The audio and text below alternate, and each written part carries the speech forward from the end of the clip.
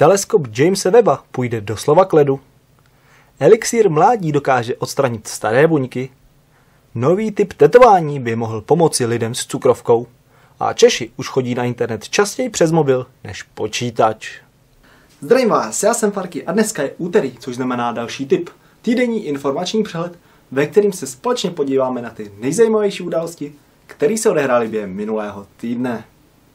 Pomyslný nástupce dosluhujícího Hubbleova teleskopu se připravuje na 100-denní pobyt v ledu.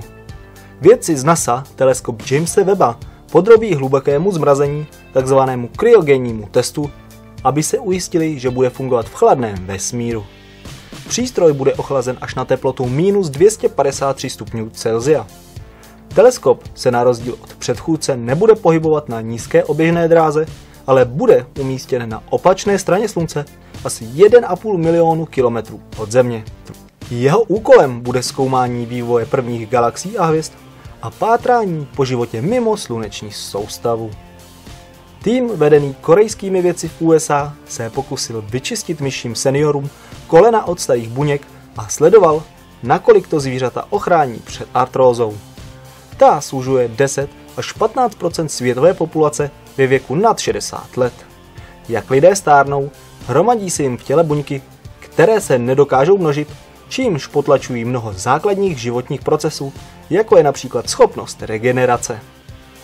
Myším tak byly poškozeny vazy v koleni, což běžně vede k rozvoji artrózy.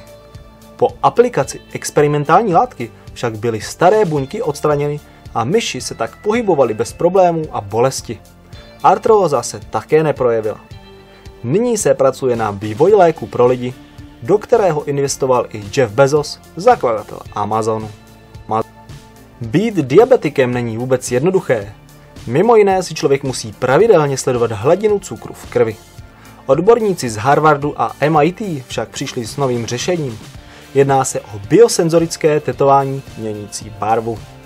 Pokud je v krevním oběhu příliš mnoho cukru, zhnědne, nadbytek sodíku signalizují odstíny zelené a hodnoty pH signalizují odstíny růžové. Výše popsaná technologie teď musí projít fází testování na lidech, aby se zjistilo, jak dlouho vydrží a zdali nebude vyvolávat například alergické reakce. Pokud by šlo vše hladce, vznikne tak nová alternativní metoda pro diabetiky.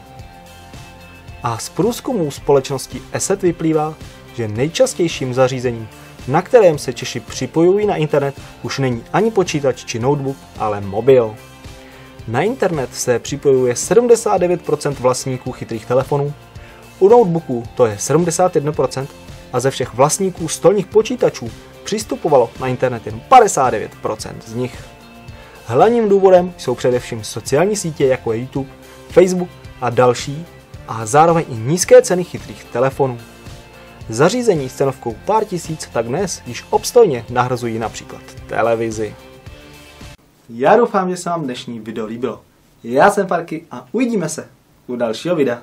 Ciao!